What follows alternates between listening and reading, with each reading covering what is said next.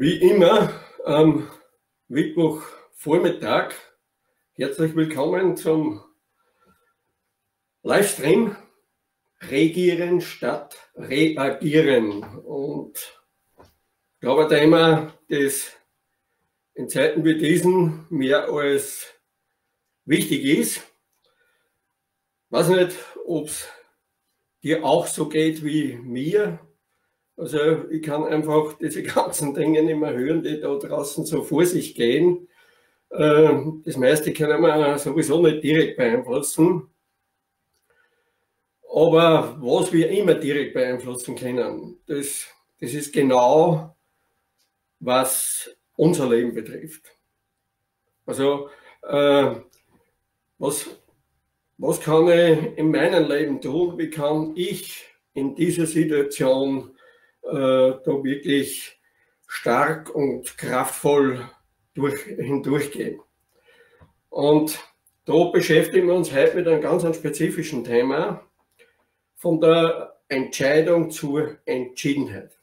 Und ich glaube, das ist ein ganz wesentlicher Punkt, also dieses Thema der Entscheidung. Also das ist ein, ein ganz ein kraftvolles Werkzeug, das wir einsetzen können, um unser Leben zu gestalten. Und ich glaube, das ist, das ist jetzt von wirklich existenzieller oder essentieller Wichtigkeit, äh, dass uns immer besser gelingt, fernab von, von all den, den Umständen und den Herausforderungen, die da draußen so stattfinden, ähm, ich habe das im, äh, im letzten Newsletter äh, auch für, oder im vorletzten letzte Woche veröffentlicht, wo es eben darum geht, die einen sind dafür, die anderen sind dagegen, keiner die verschiedensten Verschwörungstheorien äh, und all diese Themen, die, die da draußen äh, so kursieren. Und jetzt ist, glaube ich, äh, von besonderer Wichtigkeit, dass wir da äh, in eine Entschiedenheit kommen. Die Frage ist eben immer wieder, sehen wir uns äh, als Opfer dieser ganzen Geschichte oder sind wir auch weiterhin, gerade in herausfordernden Zeiten, sind wir da immer noch in diesem Bewusstsein des Regierens, wie sehr wir fähig sind zu regieren, beziehungsweise äh, wie sehr wir mitschöpferisch tätig sind, wie, wie sehr wir diese Fähigkeit haben, äh, unser Leben ähm, äh, also ein erfülltes und glückliches Leben gestalten zu können. Und da ist für mich einmal äh, ein ganz wesentlicher Punkt, von welcher Position aus treffe ich meine Entscheidungen. Viele dieser Entscheidungen, die wir Menschen da oft so treffen, äh, die sind meistens ein Wunschdenken. Und das ist ja schon mal ganz cool, wenn du gute Wünsche hast, wenn du gute Erwartungen hast, das dürfen wir auch haben. Ähm, aber wesentlich wichtiger ist, dass du dir deiner Position bewusst bist, wer, wer du wirklich bist. Und da habe ich einfach einmal auch eine, Bitte an dich. Ähm, ist dir auch schon öfter so ergangen, dass du gesagt hast, ähm, du möchtest, du möchtest da wirklich äh, in deinem Leben was bewegen. Du hast auch wirklich den Eindruck gehabt, eine wirkliche Entscheidung zu treffen, aber irgendwie hat es dann doch nicht so geklappt. Und wenn du da äh, die eine oder andere Erfahrung hast, also äh, mach vielleicht einmal Hand hoch oder mach einmal, äh, gib einfach einmal äh, einen kurzen Kommentar darüber ab, wie es dir da mit diesen Themen dieses Entscheidens geht. Und vor allem gerade in dieser jetzigen Situation.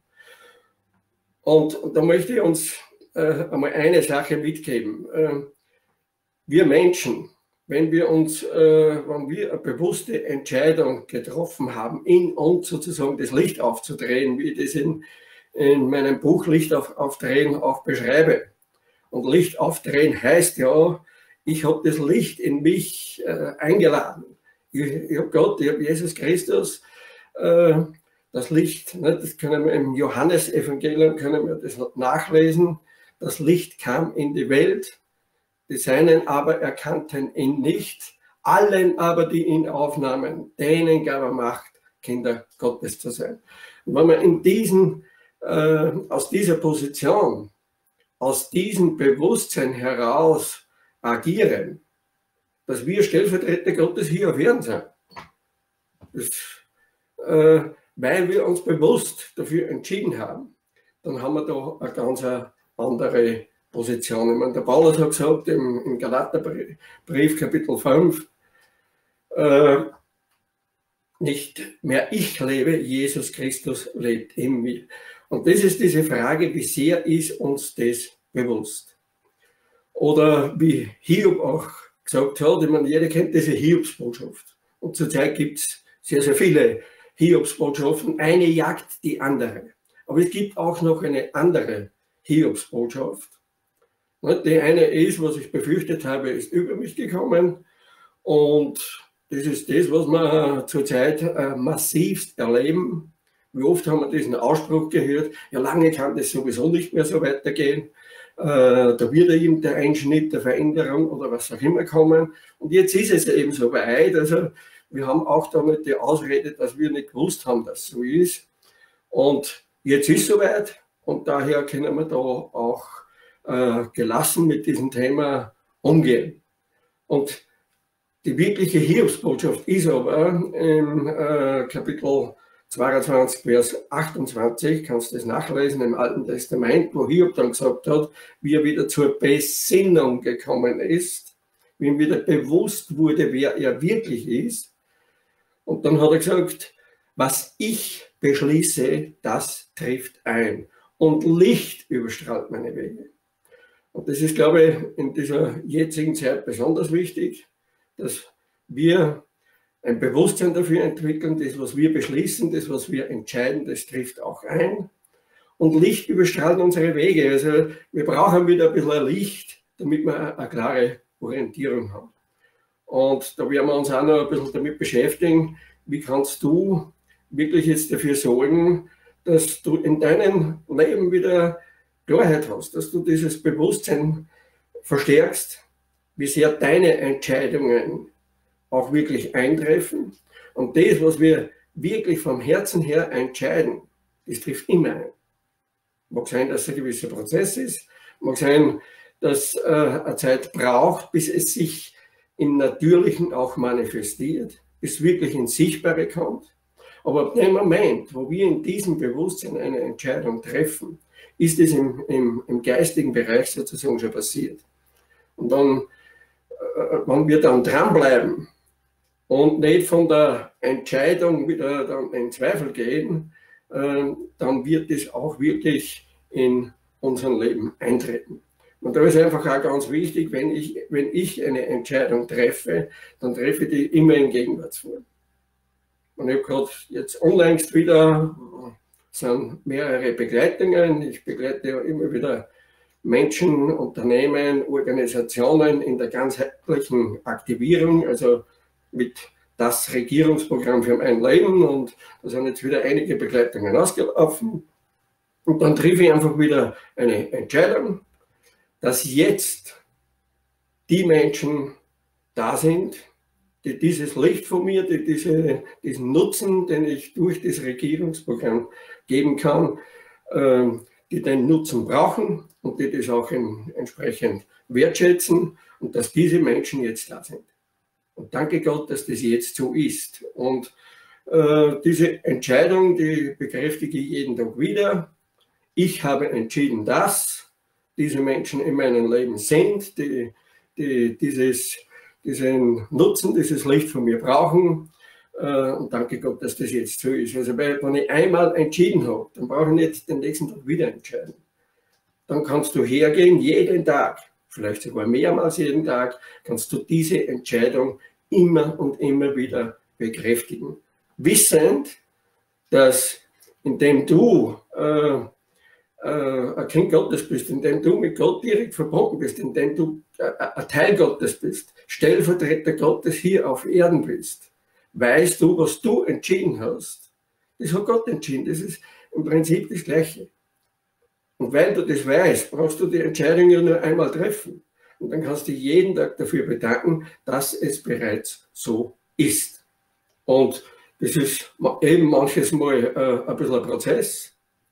Aber äh, du weißt, dass es bereits erledigt ist. Und dieser Prozess ist manches Mal kürzer, manches Mal äh, ist er ein bisschen länger.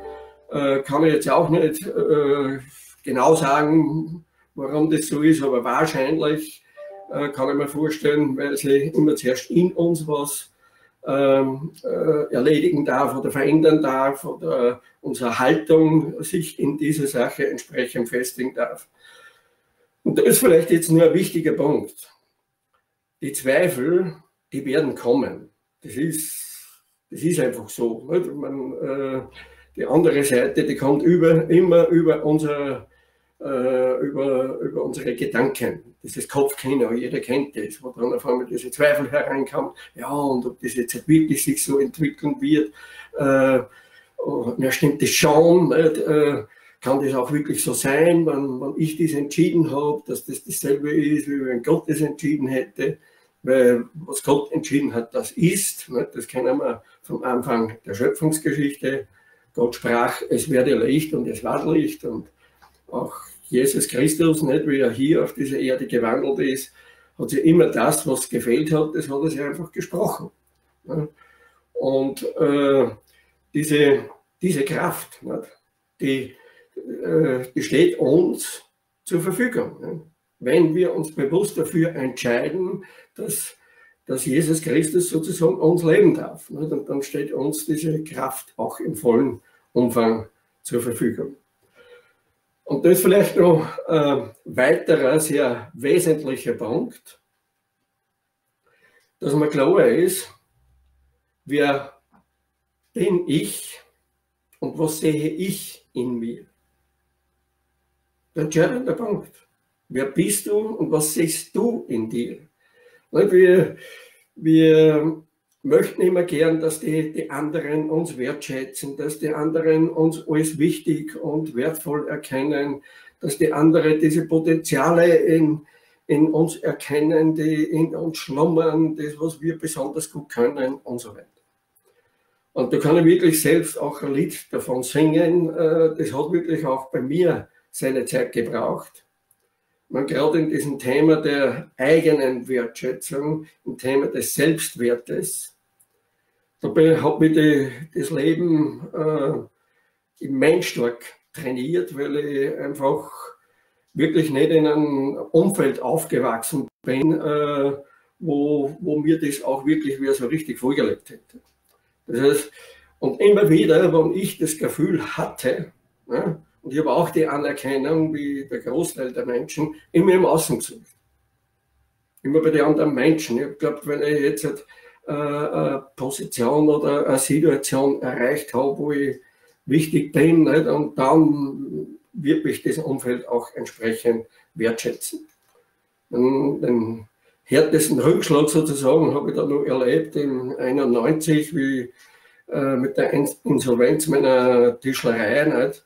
Wo, wo ich mich dann wieder komplett entwertet gefühlt habe. Und da ist auch so Punkt, dort, wo uns das Leben ähm, am meisten trainiert, dort haben wir in der Regel auch unsere Lebensaufgabe.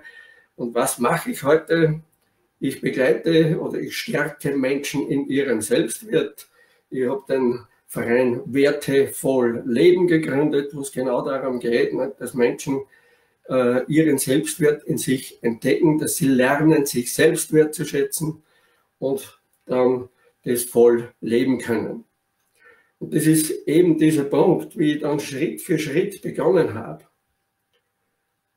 zu erkennen, wie wertvoll das ist, was Gott mir da mitgegeben hat. Wo, äh, dieses Programm, äh, das Regierungsprogramm für mein Leben, das einfach so intuitiv entstanden ist, wie, wie immer mehr erkannt habe, was das für ein Segen ist für die Menschen, wenn, wenn ich sie da durch diesen Prozess hindurch begleiten darf. Wie lebensverändernd das ist. Wie Menschen auf einmal erkennen, wer sie wirklich sind. Wie sie auf einmal entdecken, wie einzigartig und wunderbar sie sind. Und wie, wie mir das immer klarer wurde, was was, was das für ein hoher Nutzen und Wert für die anderen Menschen ist. Und wie ich begonnen habe, dadurch mich selbst immer mehr wertzuschätzen.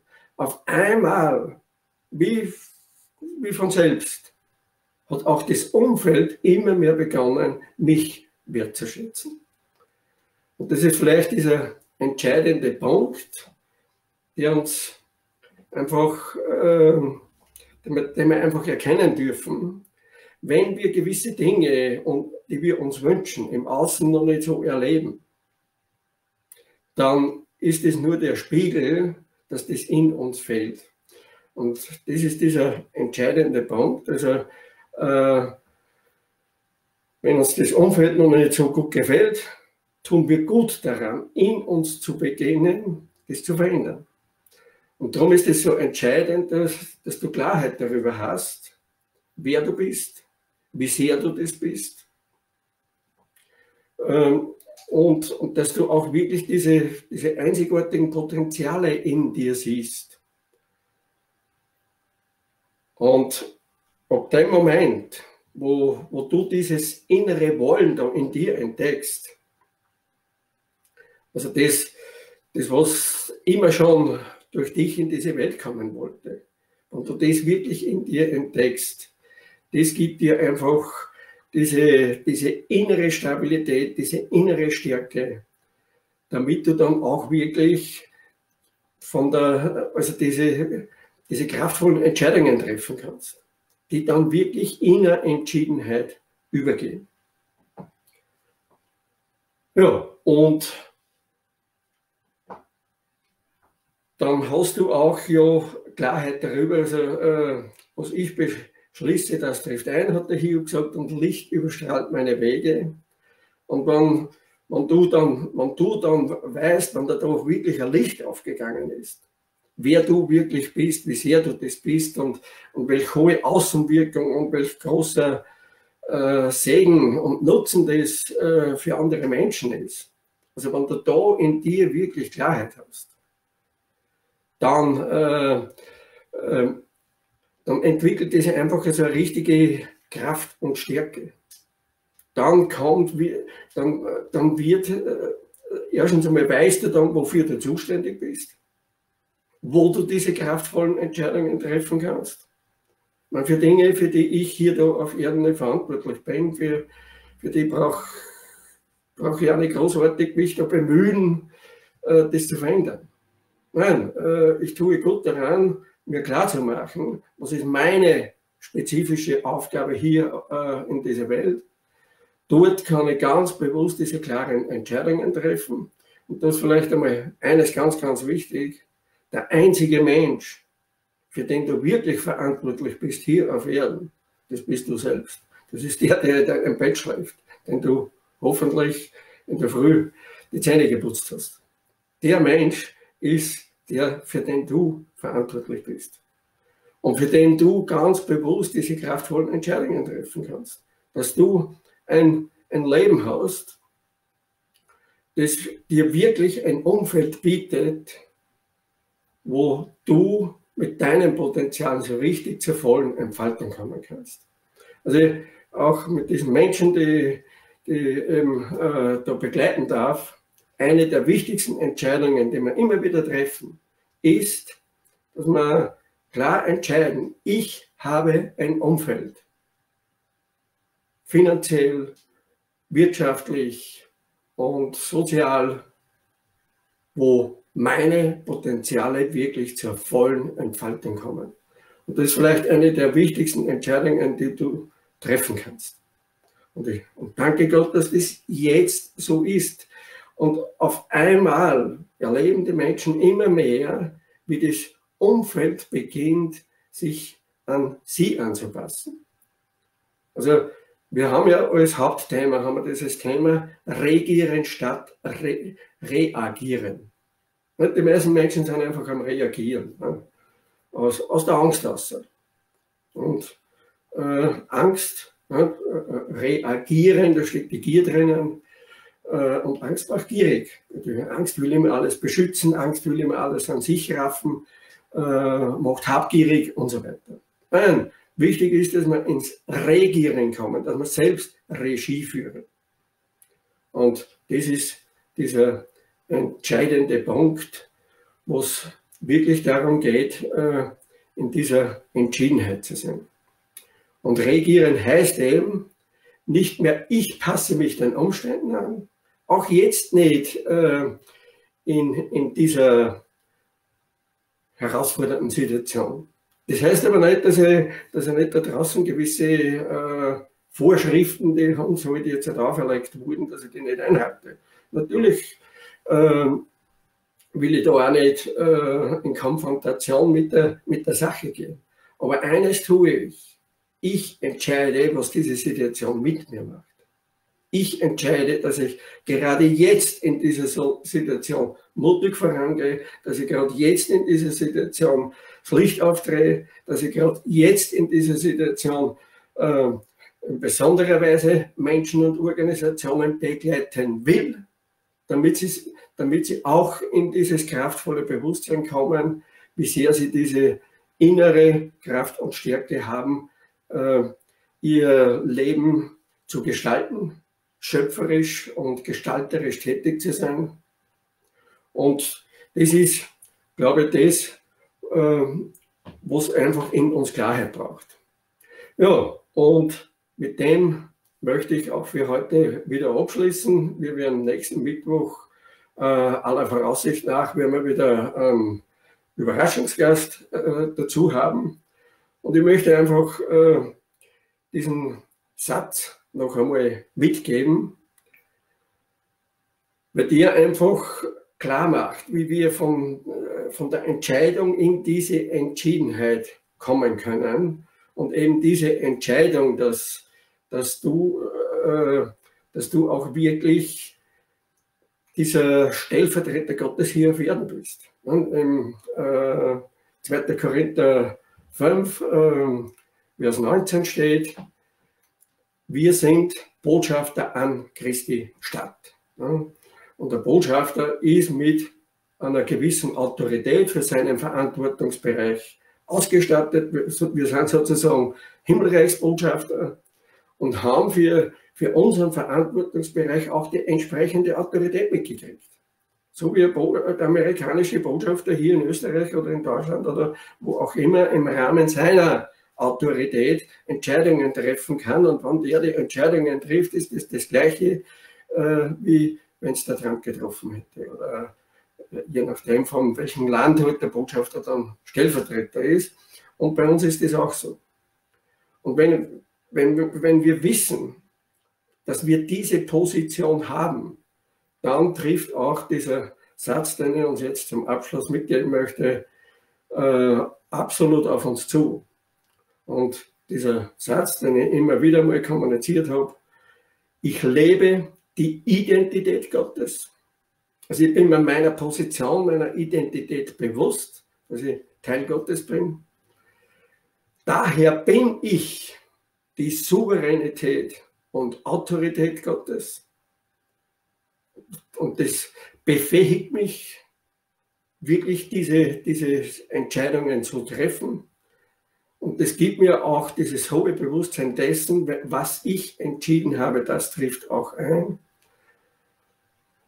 Und ich habe die Immunität Gottes. Also, nur mal ganz kurz, ich lebe die Identität Gottes, daher bin ich die Souveränität und Autorität Gottes und habe die Immunität Gottes.